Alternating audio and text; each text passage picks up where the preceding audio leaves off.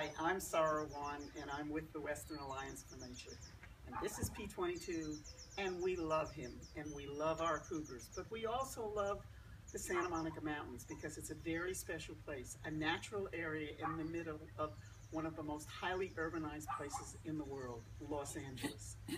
And without P22s, the cougars who live in these mountains, the habitat here will die.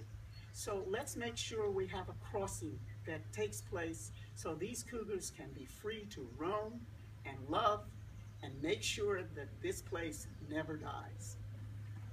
Save LA Cougars!